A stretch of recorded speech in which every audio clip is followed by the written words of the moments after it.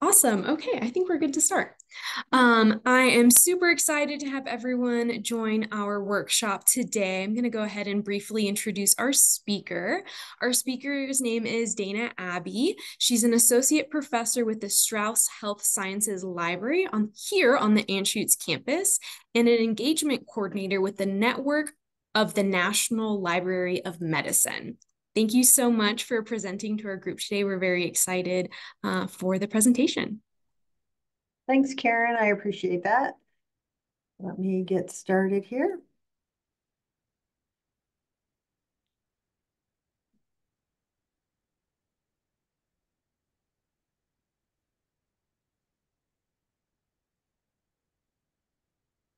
All right, well, good afternoon, everyone, and thanks for joining in today so we can discuss the role of plain language in research.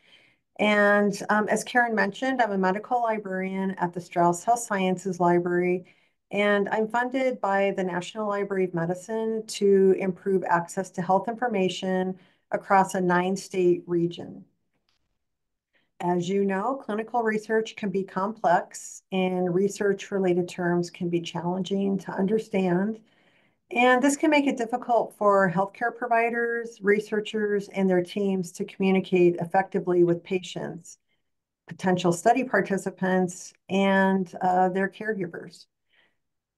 Even individuals with advanced education may struggle to comprehend scientific concepts such as research interventions, procedures, and instructions. And this can hinder their ability to make informed decisions about participating in your research studies.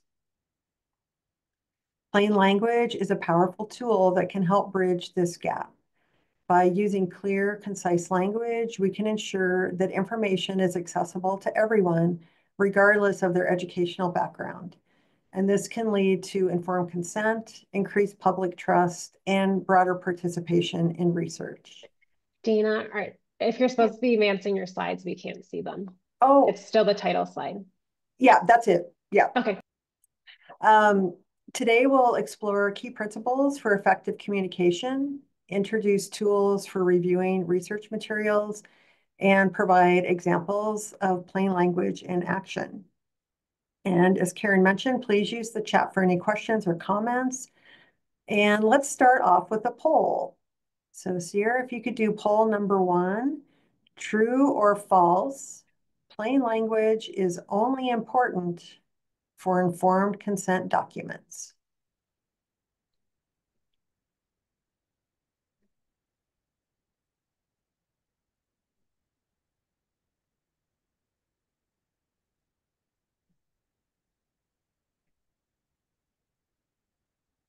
All right, so the answer is false. And as we go along, um, you will be able to see how um, that's true.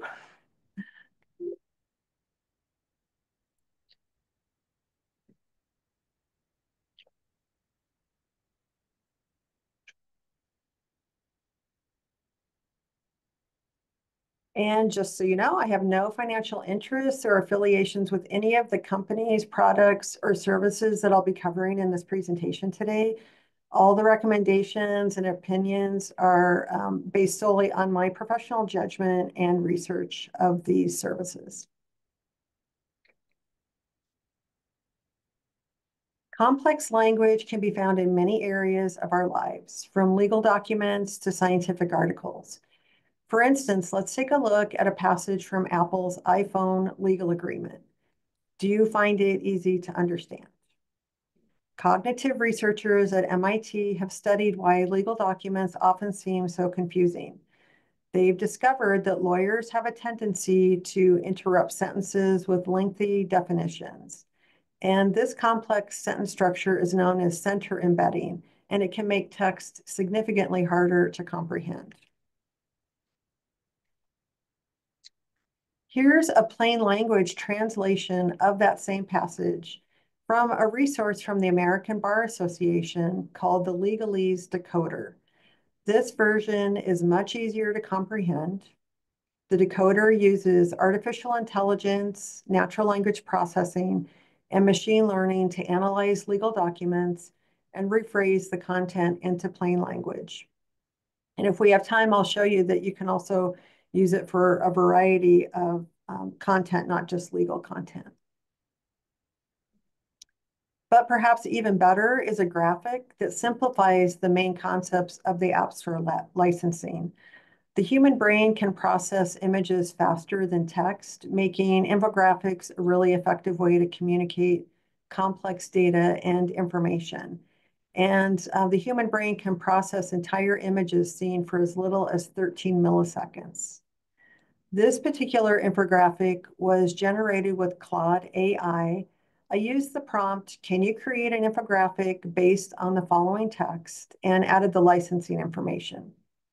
Claude AI did a good job of synthesizing the complex data and gathering insights from the text, though there are some gaps. Um, there's no mention of what the acronym EULA stands for, um, and there might be some other information that uh, you would need to clarify if you're putting this in front of a patient. You can use resources like Claude AI to summarize text. Um, CSV files, PDFs, and document files. And you can also ask for edits to the generated images. So you could add any necessary content or clarify content that you don't think Claude did a very good job with. But as a reminder, at the end of the day, it is an artificial intelligence tool and may sometimes provide inaccurate results. So be sure to review the uh, generated information and make sure that it is conveying what you want it to.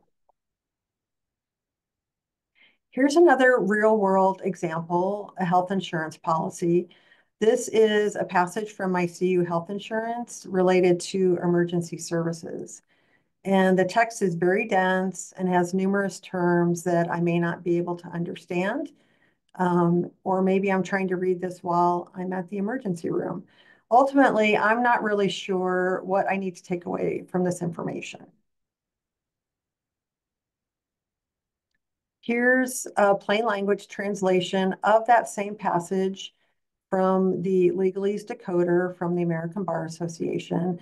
So I think I understand now that I won't have to pay more than I would in my in my in-network charges to get emergency care, but that there might be additional fees. So I just better get out my credit card, I think. And here's an example of how Claude AI interpreted the text to generate this infographic. Again, I used a prompt, can you create an infographic based on the following text and added the emergency billing statement. So I think it did a pretty okay job of extracting the key points out of that really dense uh, paragraph that we were initially presented with. And again, you can ask that uh, changes be made or if there's something that you want to add to the content. So patients and community members often find themselves navigating a complex maze of legal documents like this and medical documents. And uh, they can be filled with jargon and technical terms that are difficult to understand.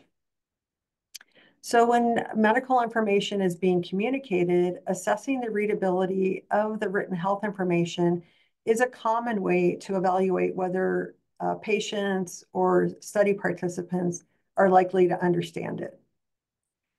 Research has consistently shown that patients struggle to retain medical information that they receive.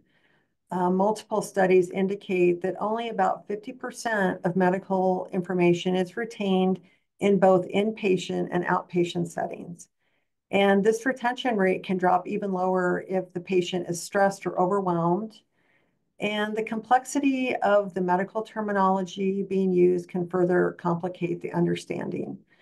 And then added to that, if your uh, study participant or patient is elderly or has limited health literacy, they face additional challenges on top of all the other challenges we spoke of. Unfortunately, there is not a single resource like the Legalese Decoder for decoding medical or scientific information to make it plain language. But there are many other tools available, more coming out every day, and we'll take a look at some of those today. Um, I want to mention that all the resources we'll look at today have a free limited use version Um, some of them are completely free always. Um, and let's go to poll number two. Yes or no, I use infographics to convey complex information to patients and or to study participants.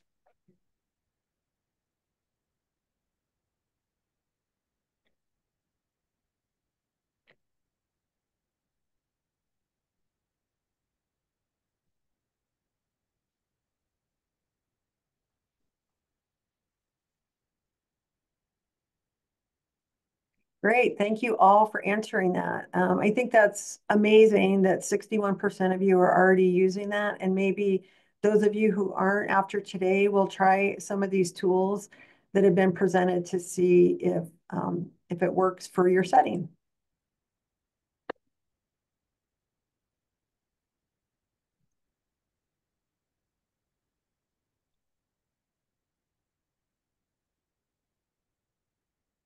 All right. What is plain language? Plain language, according to the plainlanguage.gov, is communication that's clear and easy to grasp the first time somebody reads it or hears it. And this is really crucial um, in research where you're trying to convey complex medical and scientific concepts. Plain language um, is a communication technique. And I mentioned earlier about health literacy. And health literacy is the ability to understand information and take action on it. So plain language highly contributes to improving an individual's health literacy. So the average American reads between sixth and eighth grade, a sixth and eighth grade level, um, while an estimated 20% can only read at about a fourth grade level. The suggested reading level for plain language material is at least below eighth grade. And depending on the groups that you're working with, you may need to go um, lower, like sixth grade or fifth grade.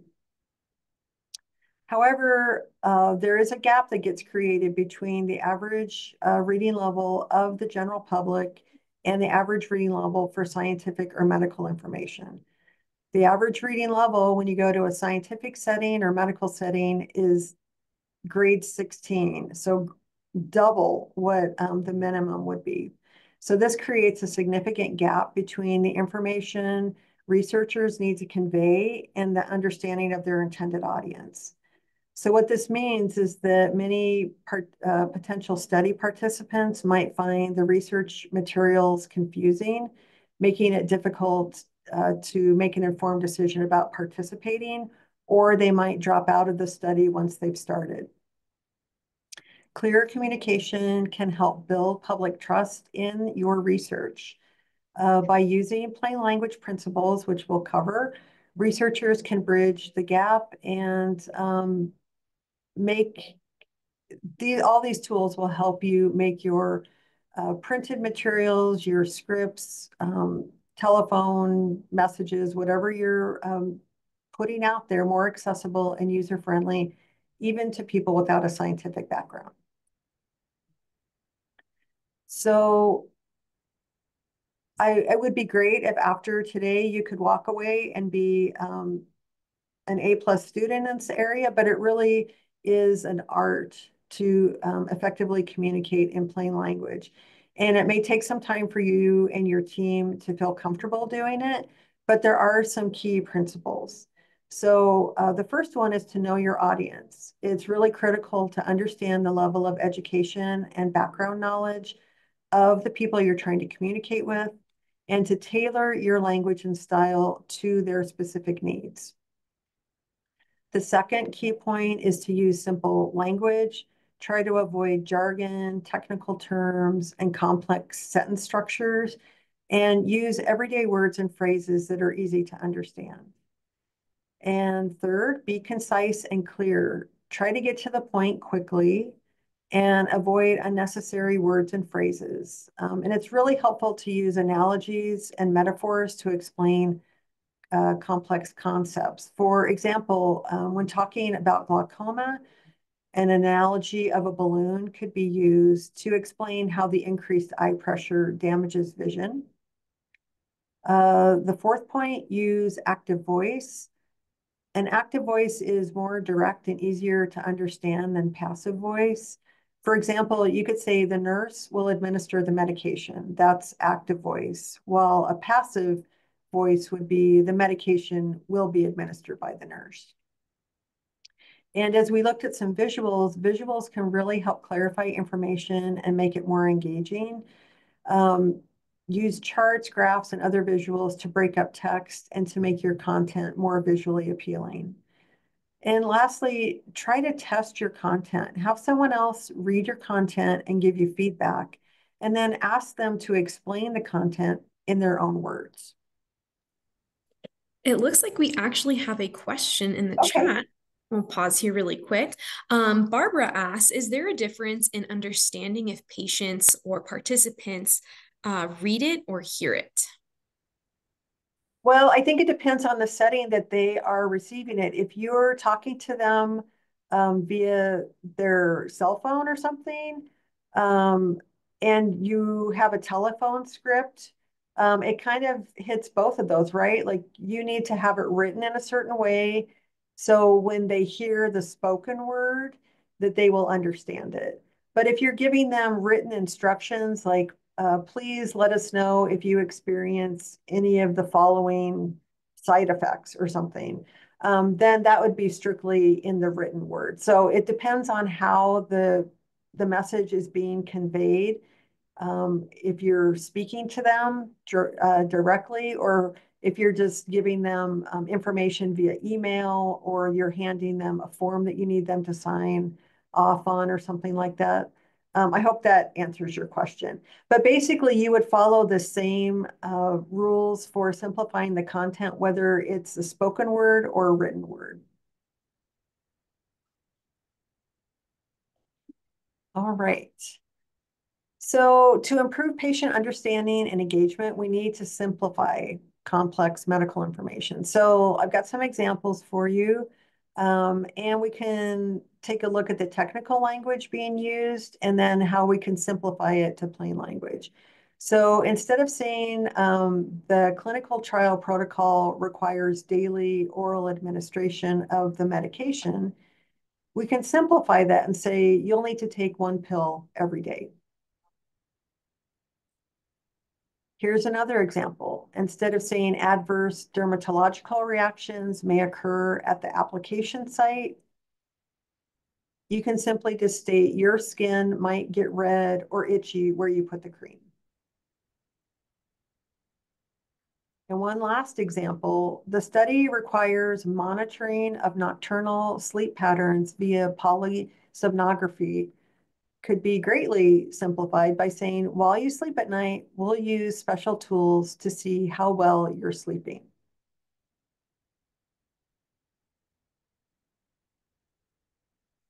Clinical trials often face significant recruitment and retention challenges. Up to 85% of trials struggle to enroll enough participants, and up to 80% are delayed to recruitment problems.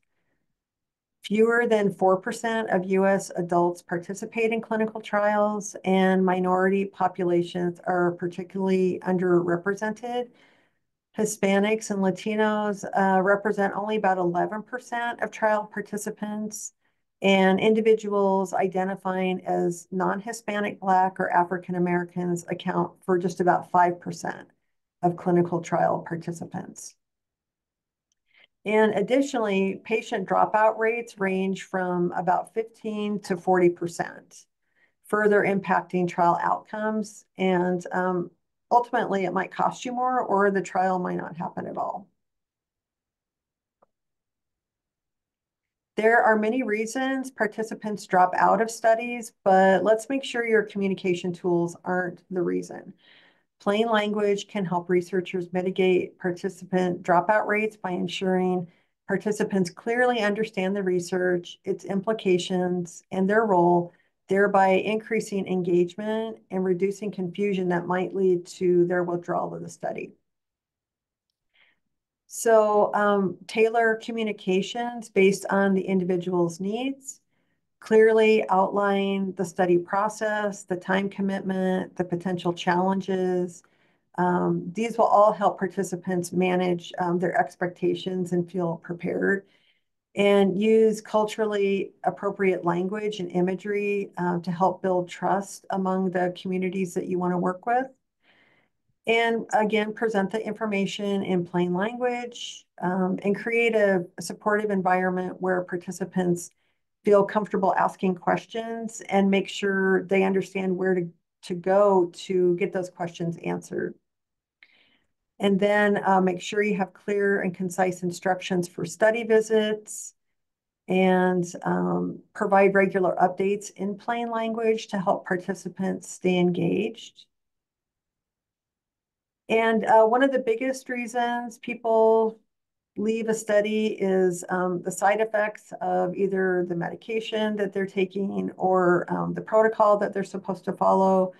But ex by explaining potential side effects in a really straightforward, plain language manner allows participants to manage their expectations um, and understand that um, there might be some adverse effects and, and then who to contact if they do have those. And we'll look at some resources today that will help you um, write that communication information in a plain language format. All right, so um, if we have clear communication, we have better recruitment. Uh, the research team can streamline the process of identifying eligible participants with clear, concise screening questions. And researchers can empower potential participants to make informed decisions uh, with plain language informed consent forms. And we'll take a look at one of those in a little bit. The research team um, can utilize the telephone scripts, the text messages, and any social media campaigns that are tied to your research um, to reach a wide, diverse audience. And researchers can enhance public understanding and engagement by providing study summaries and research findings in easy to understand language. And this also um, helps researchers influence decision and policymakers by um, promoting the adoption of evidence-based practice with plain language policy briefs. And beyond language barriers, cultural nuance plays a really significant role in effective communications UCLA did a study a couple of years ago um, that revealed that a substantial number of patients with primary languages other than English signed consent documents in languages that they didn't fully understand. And to mitigate this risk, it's really crucial to employ certified medical or scientific translators who are not only looking at the content, the words that you're trying to translate, but also making sure that they're capturing the cultural context.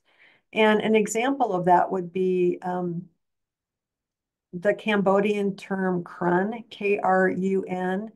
So it's commonly translated as fever, but it can also encompass a broader meaning, um, just like generally not feeling well or also feeling hot and cold. So if um, your study participants need to report if they have a fever, you need to be really clear um, what you're what you're asking them to do. That you want them to um, report any fevers using a, uh, a some type of temperature gauge above whatever threshold that you want to have, like hundred or something.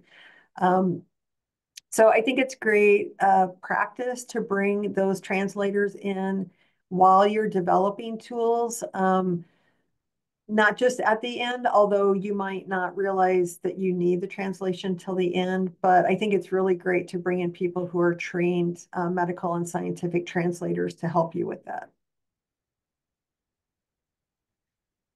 So hyperkalemia is a medical condition where potassium levels in the blood are too high. And to help us better understand and communicate information about hyperkalemia, We'll use this real world example to demonstrate how to simplify complex text.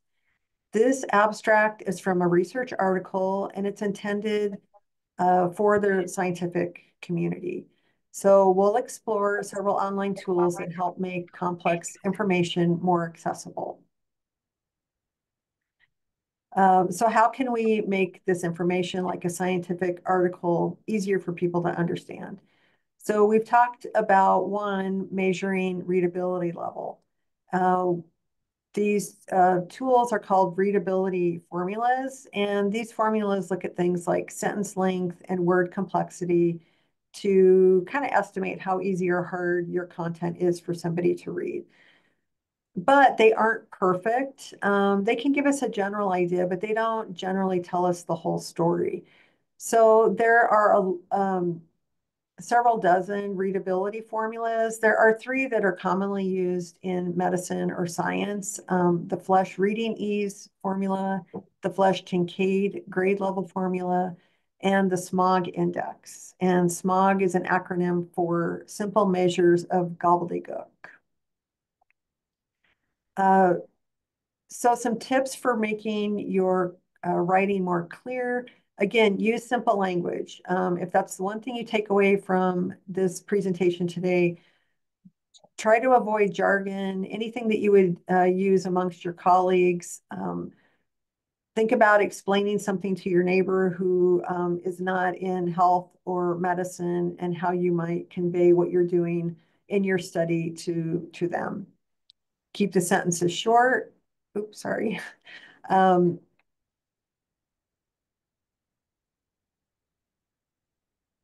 and break up really long paragraphs if you can. You can use bullet points, you can use headers, um, different ways of breaking up the text visually. And again, uh, use pictures and charts or diagrams to help explain some complex ideas. And so one big game changer uh, to the world of plain language has really been artificial intelligence. Whether we love it or hate it, um, it has really been a game changer for creating a lot, almost all the products that we're going to look at today.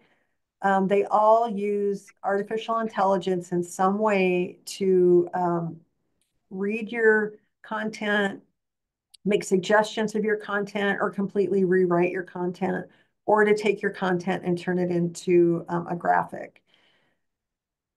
And um, it can identify uh, complex language and suggest simpler alternatives. Um, and there are two camps that this information generally falls into. So there are readability checkers. So ones that just analyze text and suggest ways to prove it. And then there are readability converters that in addition to analyzing the content, they will actually rewrite the content for you. And we'll look at some of both of those camps. We actually have a few yeah. questions. Maybe we could take a quick pause right here. Um, Maggie asks Do you find pushback from practices and institutions arguing that this will take too much time or that they don't have the personnel to take the time to simplify written medical language. I'm wondering how difficult it has been to make simplifying medical language systemic, that is expected, carried through, and um, commonplace. Those are all uh, great comments. And I think in general, depending on the setting, like most hospital and clinic settings, um, this is just a part of what they do, trying to make the content written at a level that the patients will understand. So it's just sort, it's already a part of their workflow.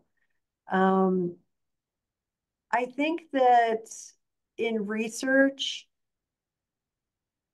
this idea of doing plain language translation um, is not necessarily new there are a lot of man mandates. I, I don't even know, maybe that word's too strong. I don't know if it's actual mandate or suggestions from um, the National Institutes of Health to have at least your summaries in plain language. Um, I don't think there's any requirement that when you apply for NIH funding that you specify how you're going to make your content plain language. Um, they're focusing on how you're going to manage your data, but not how um, the patients will interact with the communications that you're trying to put out. I think that yes, it is. And I'll talk a little bit later, but I'll, I'll share now that when you rewrite something for plain language, it can, studies have shown it takes at least five iterations on average to get to the point where you're ready to share that information. So there is a time investment. But remember that once you've you've um, created that document and made it uh, plain language, that's what you're going to use for the duration of your study. And then maybe you can take that um, information that you learned into your next research study. So, I mean, it would be a great problem, right? If you had 12 concurrent projects going on, that'd be awesome. Um, but for the most part, maybe you've got one, two, three, maybe research projects going. So there is that initial upfront time commitment. Um, so there might be pushback, especially from the person that's been tasked to do it. But I think one of the things to do is to share with your research team why it's so important that you're doing that because you want people in your study that are fully informed about why they're getting involved in it and what's expected of them. That is really important because you don't want to go through that process and halfway through have half the people drop out and then you don't have enough data. So there could be pushback, but I think if there are initial conversations about the value of what it brings to do that investment of time, um, that I think hopefully that will get everybody on board. And we actually have another question before we move on here. Pamela Pamela asks, how how would we be able to find out the potential subject's needs or level of understanding? So this could come um, just with in conversation with them. It might be something that you ask, like, what is your, um, you know, what grade level did you attain without judgment or anything? And, and let me just add that um, somebody who just graduated in uh, 2024, even from high school or college, if they don't seek any further education after that, um, in 2026, they're reading two years behind what they read when they graduated. So we're constantly going backward if we're not staying up to date with our reading skills. Um, so just keep that in mind. If if you have a bunch of participants that say, "Well, I um, I graduated from high school," they're probably not reading at a high school level at this point. They're probably reading at at least two grades lower than that.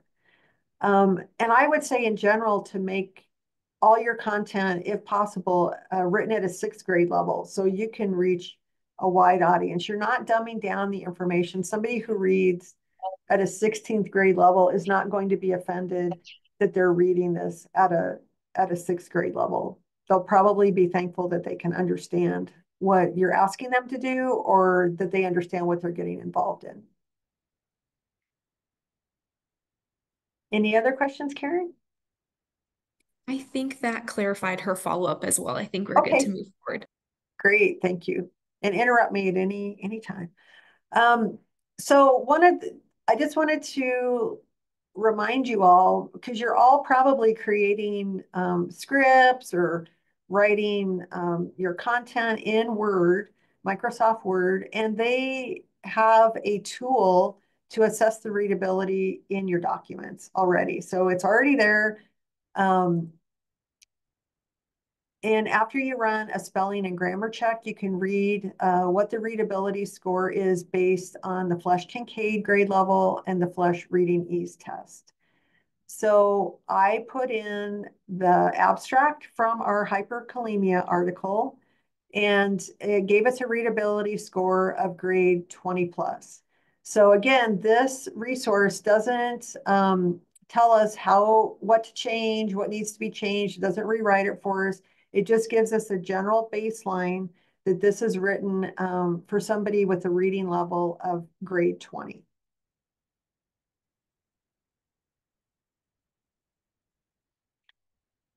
So I wanted to use Chat GPT to show you uh, what it does and how easy it might be able to use. So I put into Chat GPT um, the abstract from the hyperkalemia article. And in my prompt, I ask it to make the content a sixth grade reading level.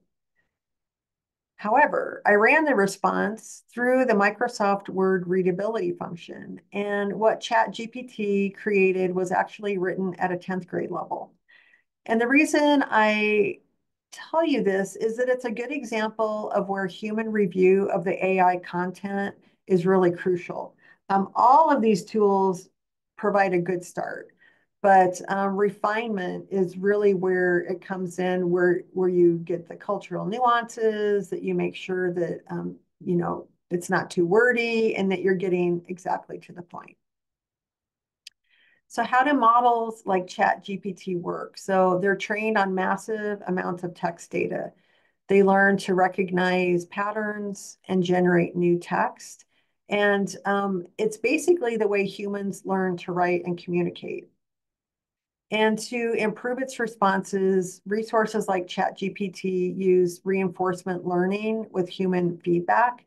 So there's actually humans um, on the other side of these screens looking at all the content, um, helping to refine the responses. But again, um, this is just the first pass. So there might be many iterations that, that you want to give to this content to make it usable for your study. So there are a couple of different kinds of um, artificial intelligence. There's some that we're used to using all the time that we not might not have thought of as AI, and that is traditional AI. And um, if you've used a voice assistant like Siri or Alexa, or you've asked um, Netflix or Amazon to recommend something for you, those are all traditional AI. Uh, but generative AI, on the other hand, like ChatGPT, it's more creative and can uh, create new content. Um, healthcare is already adopting the use of AI to enhance medical images, um, discover new drugs, simplify tasks with um, patient notes, and create customized patient treatment plans.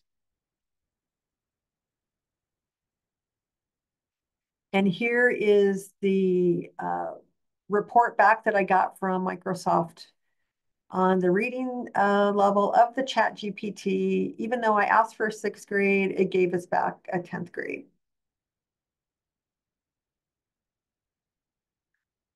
Here's another resource, um, Originality AI. It's a readability checker. Um, so I pasted our abstract in here and you can see where it's highlighted green, um, kind of blue, and kind of a salmony pink color. And these all um, are highlighting things that they find problematic in uh, the content, either because it's a long sentence or it's a complicated word. Uh, so it highlights potential issues and it provides scores and stats on the right-hand side of the screen and what can be done to optimize your writing. And um, a lot of readability checkers provide helpful insights, but sometimes you might find it too strict in what it's um, flagging.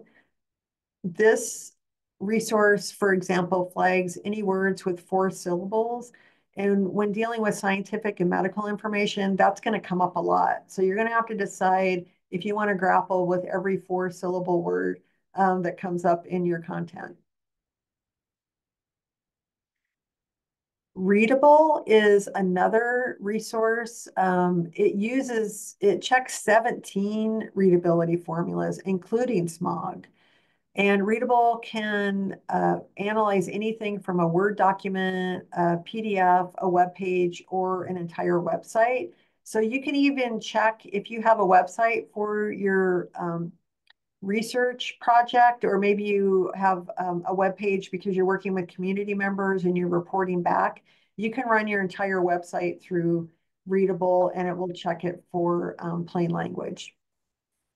So it will help you identify where your content um, needs work by displaying the readability scores on the right-hand side. Um, it checks your spelling and grammar and style issues. And as you edit the text, um, it'll give you a real-time update on how your score has improved.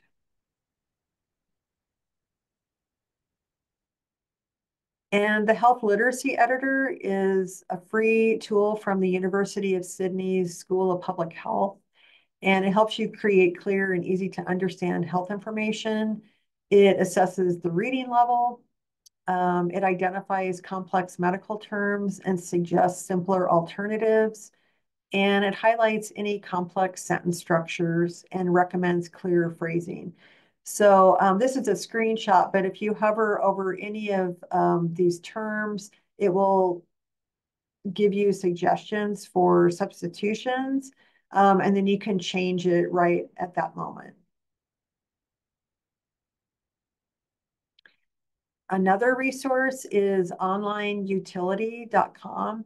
They offer a tool to analyze your reading. Um, you another just cut and paste your text and it will calculate um, the readability scores. And um, this is a resource that also uses the SMOG index. Um, you can learn about improving your writing style and it gives you metrics like your word count, your sentence length, and the average word complexity. Um, this particular tool favors using simpler words and shorter sentences for improved readability. Um, but it will, again, it, it will give you a highlight of all the things that um, might trip up your reader.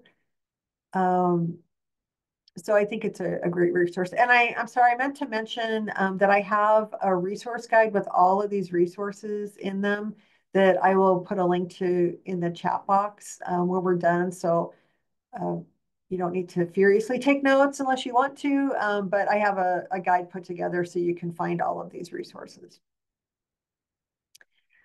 Um, another resource, and this one is um, not free. They do have a two-day free trial, but in general, it's about a $500 a year um, licensing. But it's the Health Literacy Advisor, and it's a user-friendly Microsoft uh, Word add-on that helps you assess and improve the readability of your documents. It was really designed for healthcare professionals um, and it can help you enhance the clarity of any of your written content. Um, I would say that probably most of the hospitals um, that I've worked with use this as a tool to work with all their different units that are creating um, patient content. Um, and I don't know how many of them, I know University Hospital uses this product and um, they do help in the with anybody at the hospital that needs um, things translated. So I'm sure if you're a clinical researcher there, um, they would be able to use this tool for you. All right, let's look at some resources that'll make your job even easier because they'll actually convert the text for you. So the Hemingway editor is considered a prototype of online editors for writers.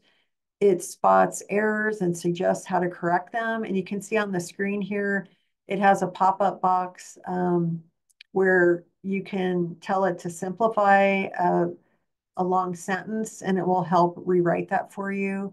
It's very easy to use. Um, so I just copied and pasted the abstract that we had from hyperkalemia and um, it tells tells you what uh, was changed, um, what they made easier to read. So I think it's a really great uh, place to start with your content.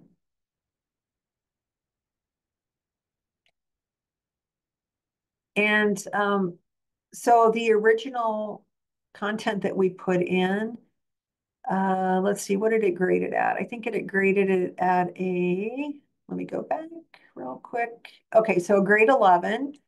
Um, oops, sorry, I want to go back one more. Okay, so they had it at a postgraduate level.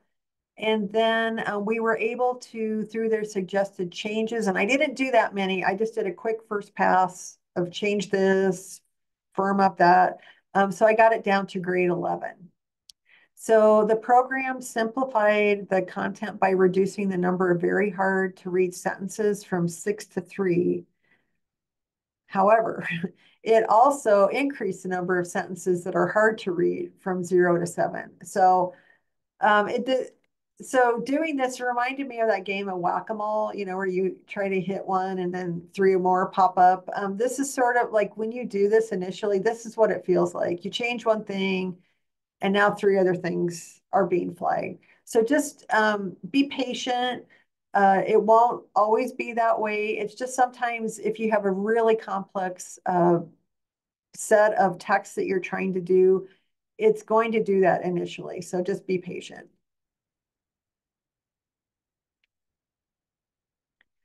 And here's an example from HyperWrite AI plain language converter. And the converter leverages um, AI to generate original, clear, and engaging content. You just simply put in the content that you'd like um, converted, and it will produce text that's easy to understand and free of jargon. And it provides an overview of the changes that it made to your content. And again, depending on your audience, this um, iteration may still be written at a level that is too advanced for your audience.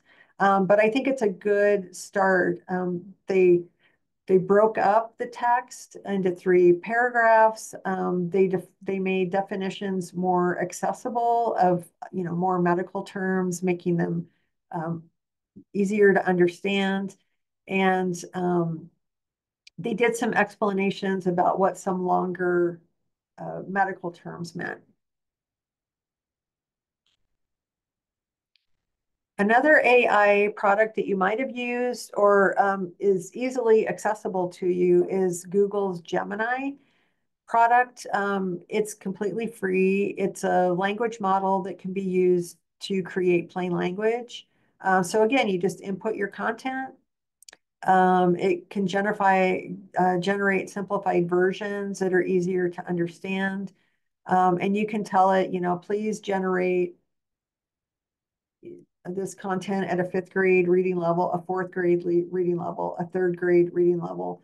Um, but again, like we saw, uh, you need to run it through uh, another another readability pro uh, product just to make sure that it actually did get to the reading level that you're you're needing. Rewordify is a free online tool uh, designed to make complex text more accessible, and it was developed by a public school teacher. And the tool works by breaking down uh, complex sentences and replacing difficult words with similar alternatives. So you can see where it highlighted certain words, um, and then it gives you some tips on the bottom of like other ways to improve it, or maybe you want to save your the iterations that you've got, you can do that here.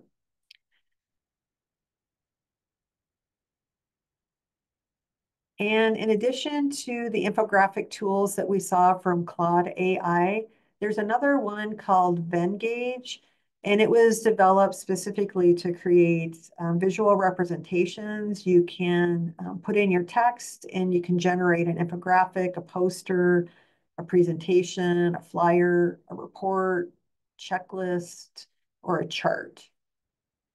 And again, you can go back in. Maybe you feel like what um, Venngage put in here is they didn't capture the important things. I think in general, it does a pretty good job, but again, you need to read it and make sure that it has all the pertinent information that you'd like to share with your study participants. All right, we'll have one last poll. And yes, no, or maybe plain language tools and resources can help reduce the time investment required to create clear and concise research materials.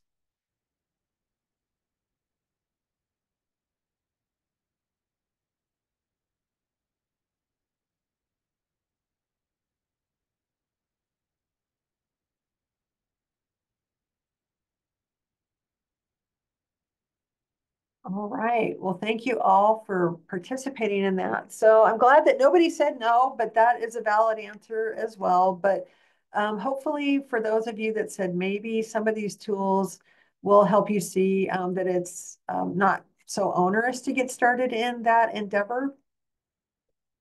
Um, and one last thing that I'd like to share with you And it's, it's for you to use for your own personal and professional absorption of research that you're reading, um, but could also be used for um, if you're a clinician working with patients um, or in the research realm looking at how to make your information plain language.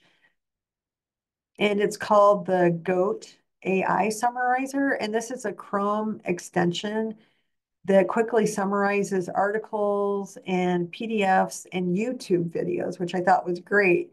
Um, so if you put any of your content up on YouTube, you can get a quick summary and then um, you can uh, share that with your patients or with policymakers, or maybe you're working with another researcher or you want to collaborate with another researcher. You can make your information um, easily accessible. All right, any other questions that I can answer right now?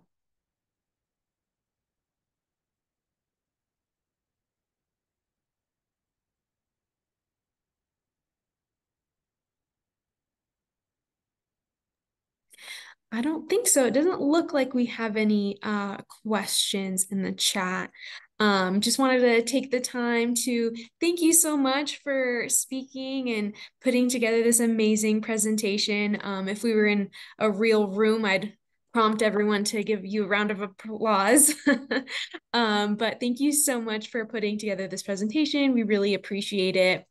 Um, as a reminder to everyone, the link to the recording and the presentation slides will be posted um, on our website, and it'll include some of the amazing resources um, that were talked about today.